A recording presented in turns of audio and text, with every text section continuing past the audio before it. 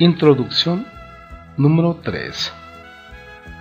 Sea cual fuere el contenido que llena nuestra conciencia, da el carácter determinante a los sentimientos, intuiciones, imágenes, representaciones, fines, deberes, etc. y a los pensamientos y conceptos. Sentimiento, intuición, imagen, son, por consiguiente, las formas de aquel contenido, el cual permanece uno y el mismo, ya sea sentido, intuido, representado, querido, o ya sea solamente sentido, o también intuido, etc. Mezclando a estas sensaciones e intuiciones pensamientos, o meramente pensado sin mezcla alguna. En una cualquiera de estas formas, o en la mezcla de varias de ellas, el contenido es objeto de la conciencia.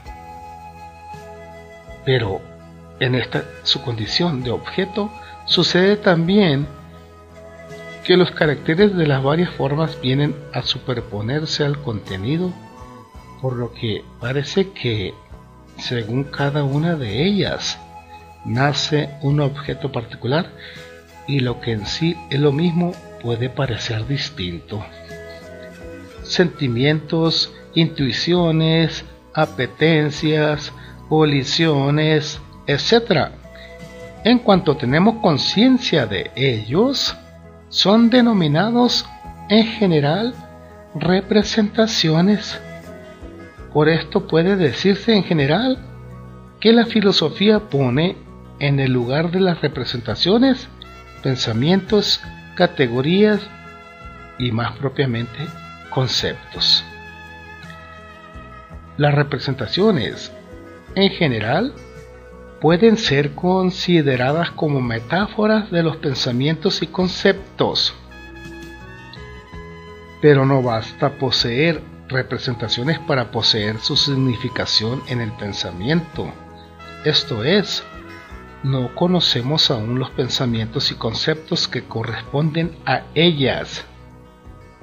Recíprocamente, una cosa es tener pensamientos y conceptos y otra saber qué sean las representaciones, intuiciones y sentimientos que corresponden a ellas. Esto explica, por una parte, lo que se llama la incomprensibilidad de la filosofía. La dificultad nace en parte de una incapacidad que en sí es solamente falta de hábito de pensar abstractamente. Esto es, de poder situar firmemente delante del espíritu pensamientos puros y moverse en ellos en nuestra conciencia ordinaria. Los pensamientos están revestidos y ligados con la habitual materia sensible y espiritual, y en nuestro repensar, reflexionar y razonar mezclamos sentimientos, intuiciones y representaciones con pensamientos. En toda proposición de contenido sensible, sensible, por ejemplo, esta hoja es verde van ya mezcladas categorías como el ser y la individualidad. Pero es otra cosa muy distinta tomar propiamente como objeto los pensamientos por sí mismos y sin mezcla alguna. Otro motivo de incomprensibilidad es la impaciencia por querer hallar frente a sí, en forma de representación, lo que en la conciencia está solamente como pensamiento y concepto. Y se oye decir que no se sabe qué es lo que se debe pensar en un concepto dado, siendo así que en un concepto no se debe pensar otra cosa que el concepto mismo.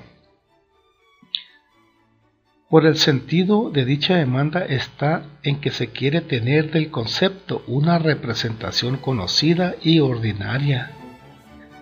A la conciencia le parece como si, al quitarle la representación, se le quitase el terreno que constituye su firme y habitual sostén. Cuando se ve transportada a la región de los conceptos puros, no sabe ya en dónde se halla. Se estima por esto como maravillas de comprensibilidad aquellos escritores, predicadores, oradores, etc., que ofrecen a sus lectores u oyentes cosas que ellos ya saben, que les son familiares y que se comprenden por sí mismas. Página 4.